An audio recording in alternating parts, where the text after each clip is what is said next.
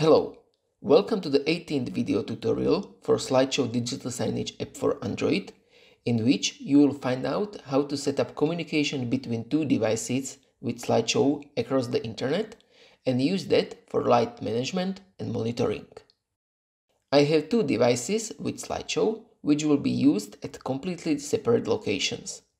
One tablet for cafe and one box for office. You can see the web interface of slideshow running on the tablet. I will navigate to menu settings, other devices.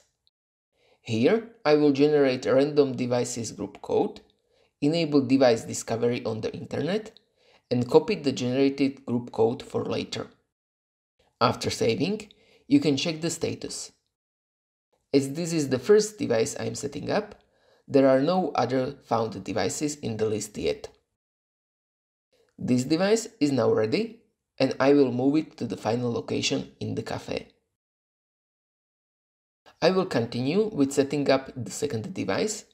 You can see its web interface on the screen. On the other devices page, I will paste the group code that was generated on the first device and enable device discovery on the internet as well.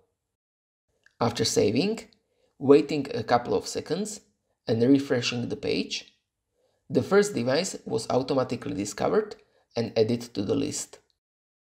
I can check what version of slideshow it's running, its IP address, and other details.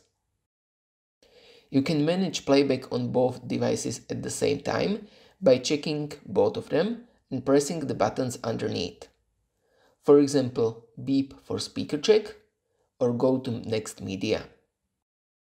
For full management of the other device, there is a tunnel web interface button. This is available only if the other device is on a different local network. In that case, I don't have direct access to its web interface, so I can use this tunnel button instead. The speed of the tunneled web interface is much lower, but you can still use it for managing the remote device.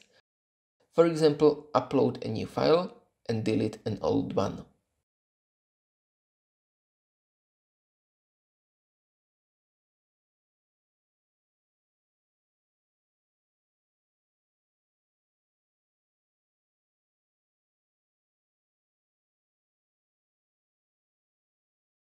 That's all for today, thank you for watching.